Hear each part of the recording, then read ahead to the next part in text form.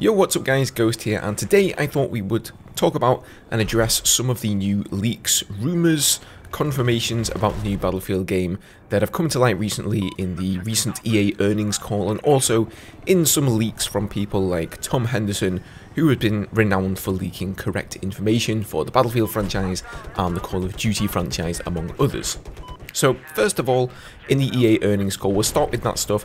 It's pretty much been confirmed that the game is going to be revealed this spring and then released in holiday 2021, so that's probably around the October-November area. Now, this spring is a pretty, you know, large area to speak about. That could be in April, it could be March, it could be May, but I would guess that we're going to see some sort of a small teaser, or at least, you know, the name of the game, just like a dun dun dun dun dun and boom, Battlefield, or whatever the game is going to be called. I think we're going to see something like that in March. Hopefully it's going to be more than just the name of the game and we're actually going to get a little tease of the art style of the game, what it looks like, if it actually is modern for sure. The more information the better and I think we can all agree the sooner the better as well. Now the release date of holiday October November-ish is pretty typical for a Battlefield game. Hopefully it's going to be on the earlier side given the extra amount of time that DICE have had to create the game though. Now next thing up is the larger player count. So in the earnings call they quote said that there will be more players than ever before. So this doesn't necessarily mean it's going to be 128 players, which is what we've all been talking about for months and even years now. That's just the most obvious number because last time there was an increase in Battlefield player size, it doubled from 32 players up to 64 players. That doesn't necessarily mean that's going to be the case now though. And you know, I think one of the points I wanted to discuss here is whilst, you know, having more players in a game sounds cool, it's not necessarily the fact that more players is going to be better. I think there definitely is going to be a point where if you keep doubling the player count in Battlefield, eventually it's not going to be any more fun and it's just going to get annoying. You have to think of it, I think, from the perspective of this isn't Warzone. I know a lot of people will compare this to Warzone and say, oh, well, they've got, you know, 150 players. Yes, that's true, but you're only in a maximum team size or a squad size there, or what is it, four or five players, right? So whenever you bump into an enemy player, guess what? You're going to be going up against them. In Battlefield, you're going to have, let's say there is 128 players, you're going to have 63 teammates. So you could have you know, just a massive amount of players concentrated on one objective. Imagine if a bomb goes off there, you know, a jet pilot like myself drops a JDAM there, he could just be getting, you know, a 10 piece. So I'm not really sure it's necessarily a good thing to increase the player size exponentially, but anyway, that's a topic for a whole other video. Next thing is that Battlefield 6 is going to take full advantage of next generation consoles with new features. I think that one was pretty obvious. There's also a rumour going around that they have a separate company that they've outsourced the work on the older generation consoles to, which if true, I think that is definitely uh, a good thing because then that means DICE can buckle down and focus on the next gen consoles, which is obviously going to be the future. They also said that it will be featuring maps with unprecedented scale, and the next vision of Battlefield takes all the destruction, player agency, and vehicle and weapon combat that the franchise is known for and elevates it to another level. So that doesn't really tell us a whole lot, I think that's pretty much a given. Bigger, better, more explosions, etc.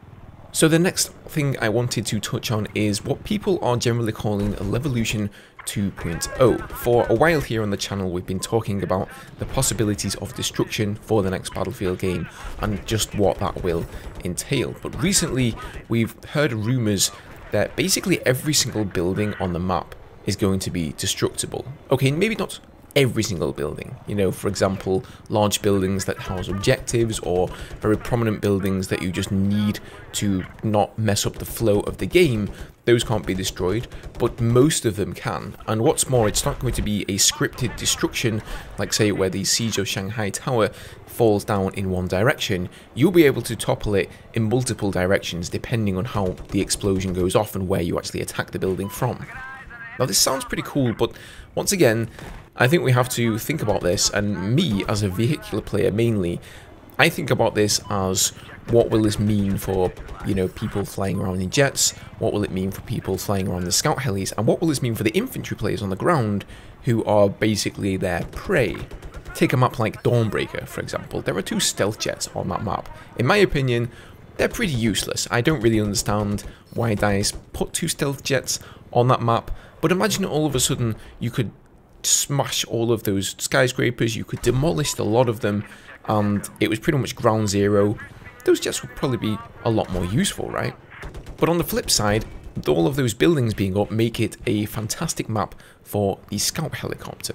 Now once all of those buildings go down, it basically just turns into Golmud Railway. I mean the scout helicopter isn't going to have anywhere to line of sight lock-ons and use its ECM, it's not going to be able to line of sight the AA tank, and it's pretty much going to be screwed. So I suppose, you know, if you take that map as an example, it could completely change the flow of the map in terms of which vehicles are on top and which ones are at the bottom. You guys will notice that it's the city maps, the ones with all the skyscrapers, you know, the ones with buildings that you can hide behind, like Zavod, you have the large building in the middle that you can hide behind that as a scout helipilot. Those are the maps where the helicopters are dominating. Most of the maps where the jets dominate is where it's pretty much wide open and you can easily strafe the infantry and vehicles on the ground and they're not obstructed by any buildings. So I think it will be interesting to see if that rumour is actually correct or if it's just people exaggerating a little bit. I hope the destruction is of course better than it was in Battlefield 4 and I'm sure we are going to see some form of Levolution 2.0 but I hope you can't completely demolish a map because that would really ruin the flow of them. Okay, next thing is the new rumour about units. So what is a unit you might be asking? Well, as you know, Battlefield currently has squads, which are groups of a maximum of four players that can play together.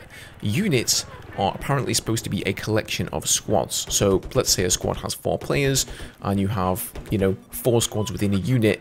That unit is going to be a collection of 16 players. But apparently it's rumored that it could be three squads in a unit or even five squads. It's not really confirmed yet and of course this is just a rumor, but I think this is probably a good idea. Let's just assume for the sake of mathematics here that you definitely will have 128 players in the next Battlefield game that's a lot of squads. That's 16 squads in the entire game, and it's going to be 8 squads in each team. So maybe they're going to split those up into 2 or even 4 units. I think this also may point to the fact that Commander Mode will be coming back. At the moment, the way Commander Mode works in Battlefield 4 is that you can tell entire squads to go and attack objectives or defend or attack units and targets. But all of a sudden, when you have a billion squads to control, that's not going to be so easy. So I can definitely see, you know, the unit here being used instead of the squads. I definitely think that's a good thing. Hopefully this points to more strategizing and target calling for the commander. Okay, and finally we have uh, the newest rumour that there is going to be a free-to-play element and a battle pass for Battlefield. Not quite sure how I feel about this one.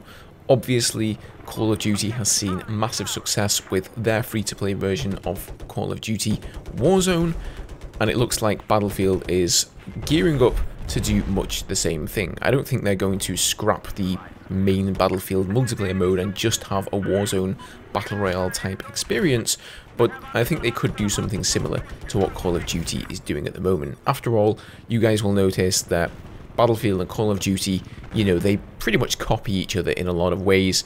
When there were no vehicles in Battlefield and it was all about World War II, Call of Duty capitalized on that and they started implementing their own vehicles like modern tanks and helicopters into their game. That wasn't a coincidence, I'm pretty sure that was because Battlefield wasn't doing that at the time and they wanted to fill that niche. Now you might say, okay, what's what's the harm in that? You know, if you've got the main base multiplayer version of the game. Well, for me, it will be that there is a possibility that they will split the player base massively. At the moment, way more people play Warzone than the people who play the base Modern Warfare multiplayer. And the reason for that is because it's absolutely free. So whoever your friends are, you know, however much money they have to spend on gaming, you can all grab this free version of Call of Duty and play it together, right?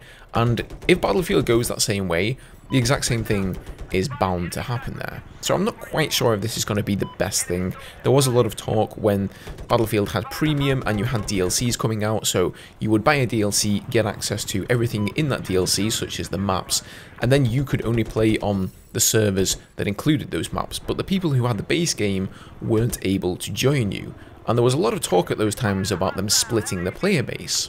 So, you know, in a way, I kind of hope this isn't true. I'm not a massive Battle Royale fan, many of you guys will know that, but I'm well aware of the fact that a lot of people do love Battle Royale. But let me know down below in the comments, guys, would you like a Battle Royale mode for Battlefield if it was done well, or do you just want, you know, the base Battlefield multiplayer experience that we all know and love? As for the Battle Pass element, just, just please, no, like, enough with the Battle Passes, man. I know that everybody's doing it, and I know it makes a ton of money, and it's probably complete folly for me to to even bother saying this to EA because of course they want to make more money, but uh, just I I don't like battle passes, man. I don't. I prefer premium. If we could just get premium back instead of battle passes, that would be that would be great, EA. Also, just thought I'd throw this in here, a little screenshot capture from Battlefield HQ of a vote on Battlefield 6 versus Battlefield 6. Do we write it with Roman numerals or do we write it with regular numbers? Please go with the regular numbers. Do you guys know how many times I have to type in the word Battlefield 6 into every YouTube video? Every single tag, every single title? It's so annoying to have to use Roman numerals, man. Come on, guys. Anyway, guys, that is going to be it for today. Hope you enjoyed this one. Leave all your thoughts down below in the comment section.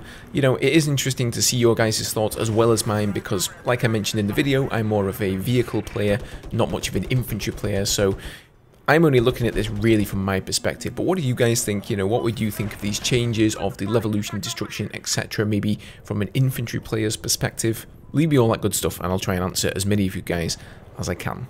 Leave a like down below if you enjoyed, subscribe for more Battlefield 6 information, and I hope you have a good weekend.